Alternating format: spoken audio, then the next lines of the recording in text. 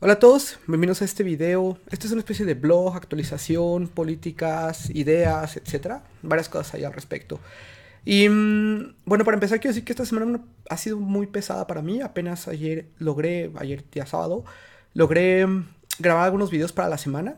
Por ahí voy a tener como ahorita como un contenido, una semana y media de contenido pregrabado. Entonces, bueno, eso me ayudará como que generar contenido durante los demás días, que ya debería estar un poquito más calmado. Pero sí fue una semana en la cual casi no pude jugar. Ahorita estoy como que jugando solamente cosas rock-like, como Strafe, Quake, Doom, mientras escucho algunos podcasts. Y esto me dio algunas ideas para el canal. Yo hacía, había hecho un video hace una semana diciendo que las cosas no iban a cambiar. Pero bueno, posiblemente sí va a haber algún tipo de cambio de contenido con base en si me animo con esta idea o no me animo con esta idea. Em, el pasado 16 de enero hubo una actualización por parte de YouTube para todos los creadores de contenido que están monetizando o que están de alguna manera u otra, pues con base en lo que están subiendo en, videos, diciendo, oye YouTube, pues si es posible, pon o corre promociones durante, durante estos videos para pues poder obtener un poco de dinero a cambio. Voy a mostrar mi escritorio y voy a decir esto si afecta o no afecta al canal, ¿ok? Entonces, la descripción general de programas de de YouTube eh, este contenido fue actualizado el 16 de enero del 2018. Y básicamente lo que ellos están diciendo es, cuando un canal alcance las 4.000 horas de tiempo de reproducción durante los últimos 12 meses y obtenga 1.000 suscriptores, lo revisaremos para determinar si puede pagar el programa. Esto es un cambio bastante fuerte con respecto a cómo la política había funcionado durante los años pasados. Sin embargo, creo que y no me lo tomen a mal para muchos de los creadores de contenido con, contenido de pocos suscriptores, como es, el, como es mi caso en específico. Voy a explicar un poquito atrás de dónde viene todo esto, a mi manera de ver, como creador de contenido, pero también como ingeniero en sistemas. y lo que he logrado como, no descifrar, pero lo que he logrado entender sobre el algoritmo de YouTube, ¿ok? Entonces, em, alcanzar 10.000 reproducciones realmente para un canal pequeño, pero que tiene consistencia, no es, creo que, tan difícil, ¿ok? Y eso es como lo primero que quiero como que todos les quede claro, como esa idea de, ok, ese milestone, digamos, ese punto o esa primera piedra, no es tan difícil, o ese primer escalón, no es tan difícil si tienes un contenido eh, con, una con unas personas que estén continuamente viéndolo eh, creo que no es tan difícil hacerlo. Supongamos que sacas un video cada tres días y cada video a lo mejor empieza a alcanzar unas 50 reproducciones, unas 100 reproducciones y empieza a subir. Pues podríamos decir que a lo mejor como en un año, unos 8 meses, eh, podrías alcanzar algo similar, digamos, en términos de reproducciones. Extrapólalo, por ejemplo, 100 reproducciones eh, o 150 reproducciones cada semana con base en contenido que estés creando y bueno, de ahí empieza a ser como que la suma hacia arriba. Entonces, obviamente te dar algunos meses, pero creo que un año a un año y medio sería pues una excelente manera de verlo. ¿Y por qué le estoy diciendo que esto es fácil? Porque voy a explicar realmente, para mí, lo que yo he entendido de la ecuación de YouTube y por qué estos... Y por qué esto hace más sentido que lo que se, tenía originalmente, ¿ok? Entonces, realmente cuando tú empiezas YouTube, eh, creo que tienes que tener una mente abierta a por qué estás haciendo el contenido. Tienes que ser como muy honesto contigo mismo, contigo misma. Y tienes como que definir realmente, pues, por qué lo estás haciendo, ¿ok? Hay muchos podcasts que ya fuera primero se empiezan a burlar de los de las personas que hacen eh, contenido, digamos, por amor al arte y, utilizan Patreon. Y meses después caen en ese modelo y dicen, no, pues nosotros también tenemos Patreon. Pero creo que ahí es donde empezamos a ver como, ok, pues creo que no es tanto como que estés teniendo dobles estándares, sino que realmente no tenías como muy bien definido exactamente para qué querías crear contenido, ¿ok?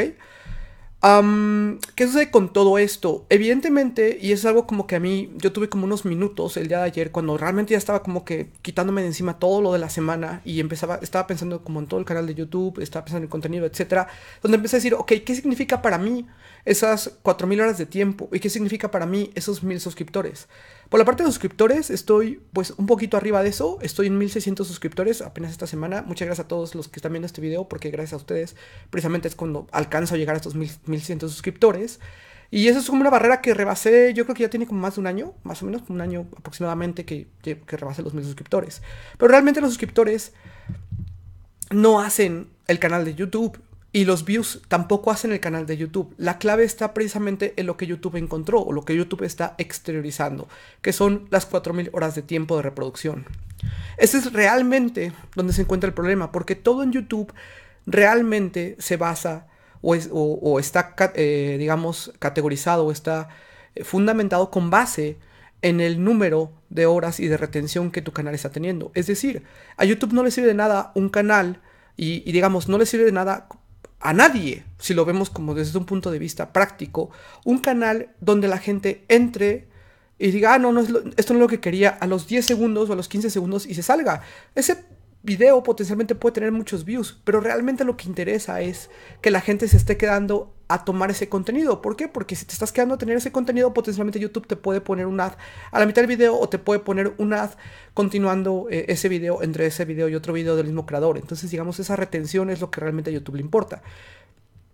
¿Qué es lo que ellos dijeron? Oye, la mayoría de los socios que están teniendo menos de 4.000 em, horas de tiempo de reproducción en los últimos 12 meses o menos de 1.000 suscriptores, eh, estamos pagándoles algo menor a 100 dólares mensuales, o digo 100 dólares anuales, o sea, no están sacando más de 100 dólares anuales. Entonces, obviamente administrativamente para YouTube eso es pues una carga de trabajo y realmente creo que para iniciar en YouTube no necesitas tener un revenue inicialmente. Y voy a decir por qué inicialmente, ¿ok?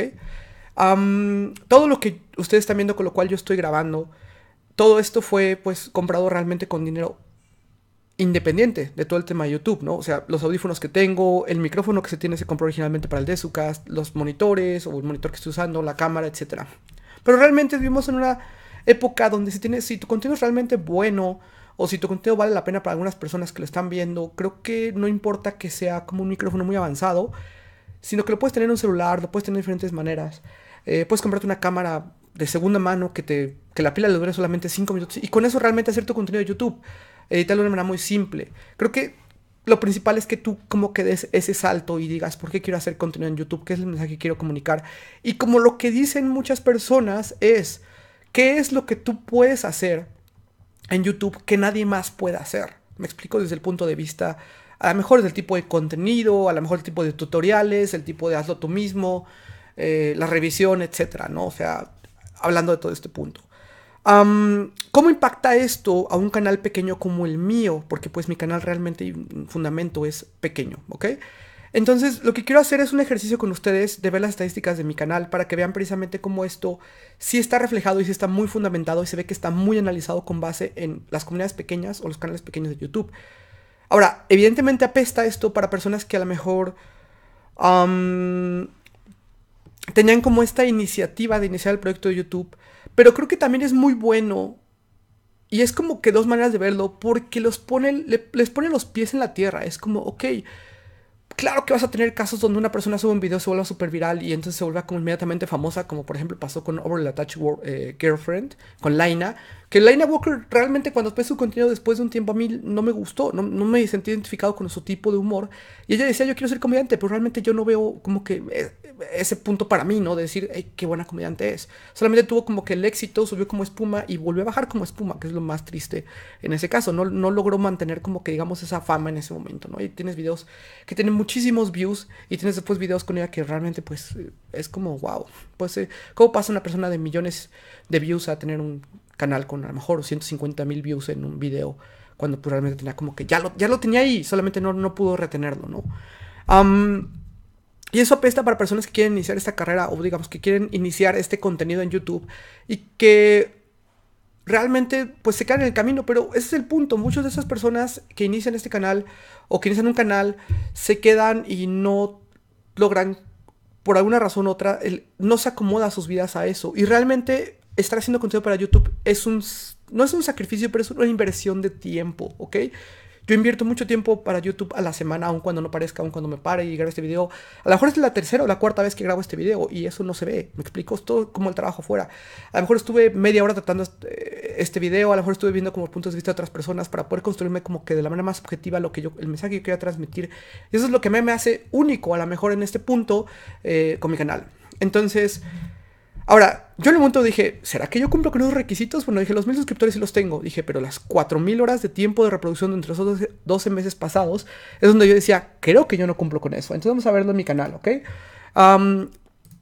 esto es mi canal en el último año. Y aquí quiero como que mencionar varias cosas para la gente que no está tan familiarizada con el tema de YouTube, em, sobre qué es lo que estamos viendo, ¿ok? Entonces, en la primera parte, lo que yo definí fue un periodo de tiempo de enero a diciembre de 2017. Eh, tengo el número de views que se dieron durante ese periodo fueron 130.866 views.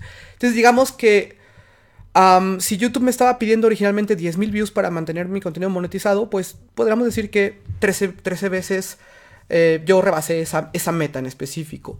Y tengo 494.031 minutos de gente que los vio. Entonces, aquí pueden ustedes hacer una, una regla, eh, digamos una regla directa. Pueden dividir entre el número de views y el número de watch time, o sea, el número de minutos que estuvieron viéndolo y pueden ver realmente cuál es mi retención, que es algo muy importante en YouTube. La retención es como que lo que dicta realmente tu canal y tu video, qué tan recomendado va a ser, etc.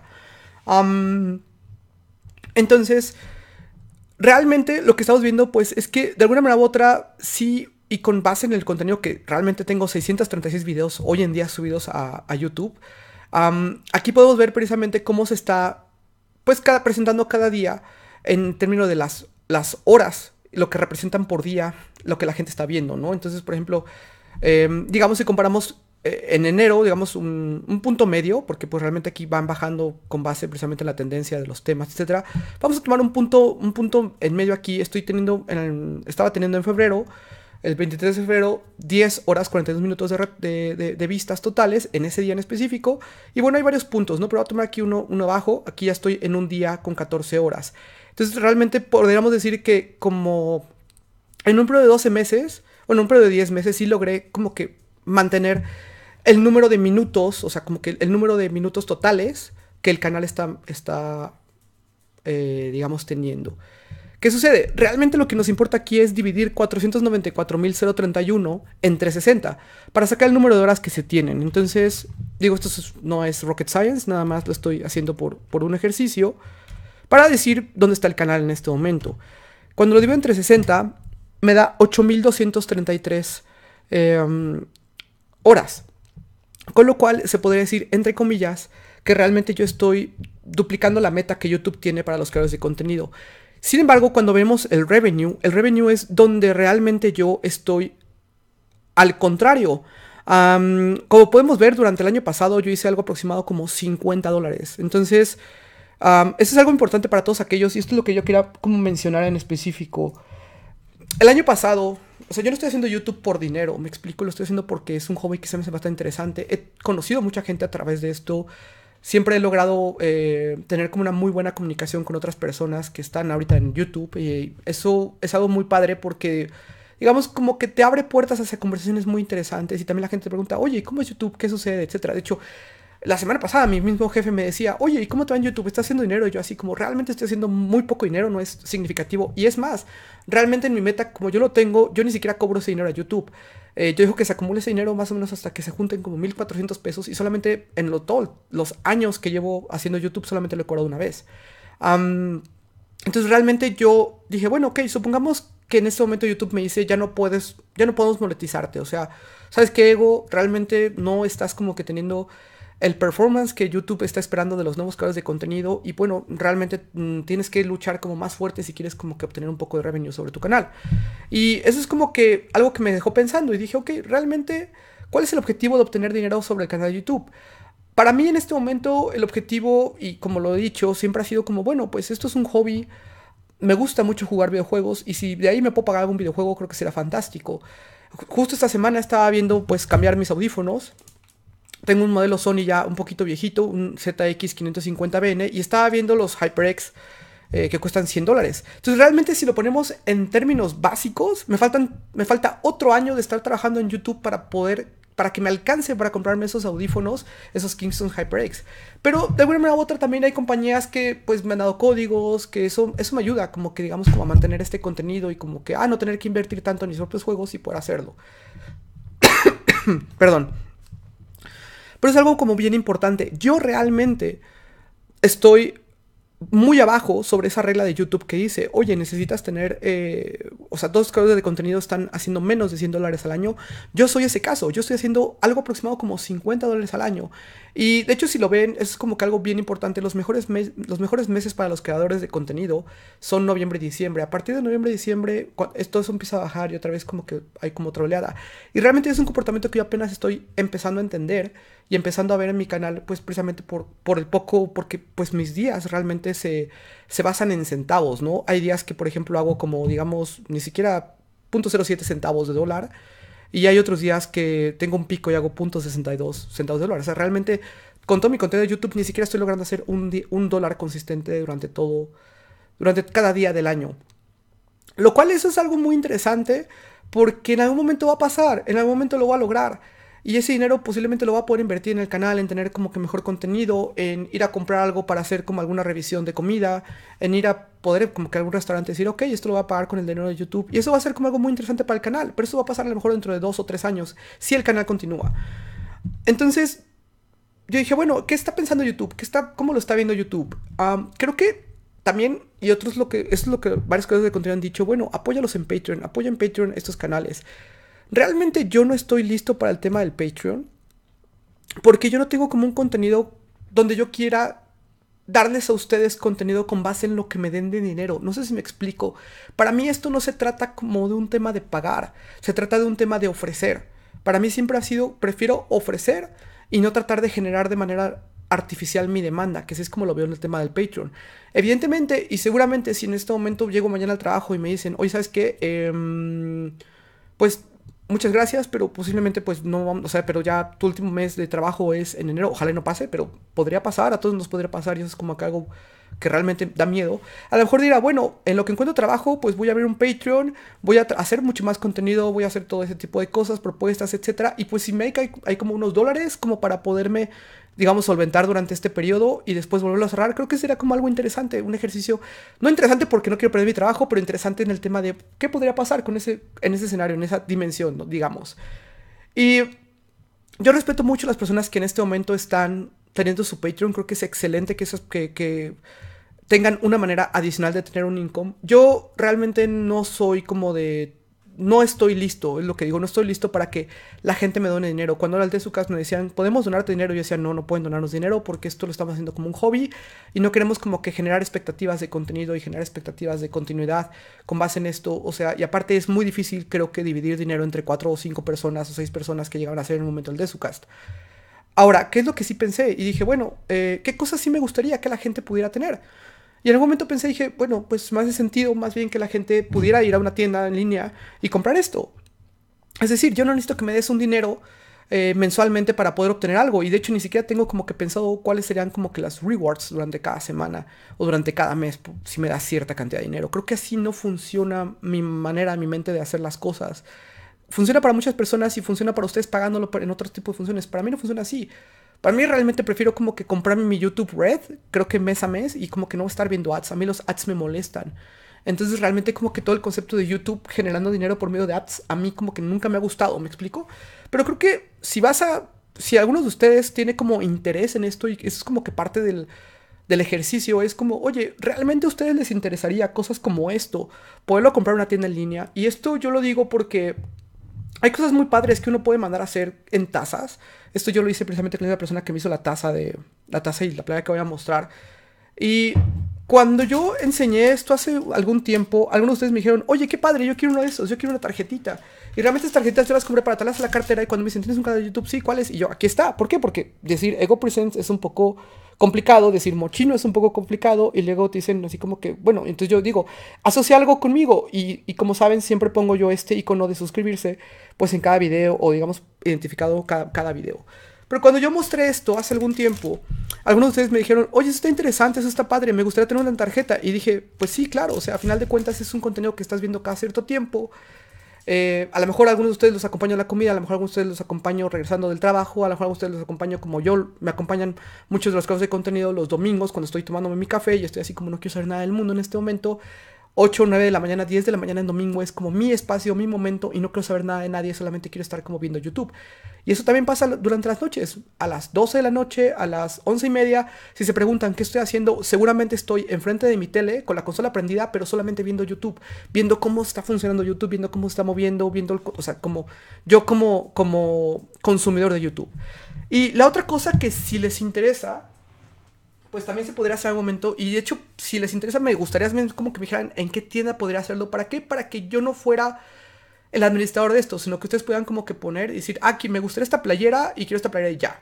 Eh, no quiero yo como que tener que enviarlas, no quiero... ¿Por qué? Porque realmente esto debe ser como algo autosuficiente para ustedes de, oigan, estoy pensando en sacar esto, ¿a alguien le interesa? Pues lo pongo en una tienda para que se genere el momento y se les envíe.